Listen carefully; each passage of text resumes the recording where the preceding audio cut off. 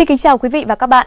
Theo dự báo mới nhất của Trung tâm Dự báo Ngư trường Khai thác Hải sản, trong tuần tới thì cá ngừ đại dương sẽ xuất hiện quanh vùng biển huyện đảo Hoàng Sa, khu vực giữa Biển Đông và ở huyện đảo Trường Sa.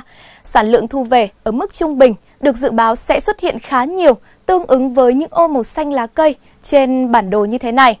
Về thời tiết chiều nay, ở khu vực giữa Biển Đông và ở huyện đảo Hoàng Sa, trời chủ đạo là nắng, tầm nhìn xa thoáng rộng trên 10 km, rất thuận lợi để bà con vươn khơi, buông lưới mang về những mẻ cá ngừ đầy ắp. Với huyện đảo Trường Sa, dự báo chiều nay có mưa rào và rông vài nơi nhưng mà không đáng ngại, tầm nhìn xa thoáng rộng trên 10 km.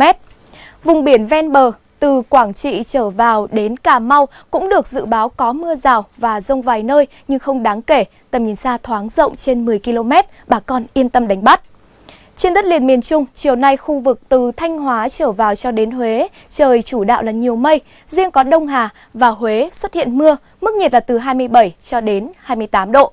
Còn ở Nam miền Trung, từ Đà Nẵng xuống đến Phan Thiết, trời cũng chủ đạo là nhiều mây, riêng có Phan Thiết có mưa rông, mức nhiệt là từ 31 đến 32 độ. Cảm ơn quý vị đã quan tâm theo dõi. Chúng tôi sẽ tiếp tục cập nhật những thông tin thời tiết đáng chú ý trong các bản tin tiếp theo.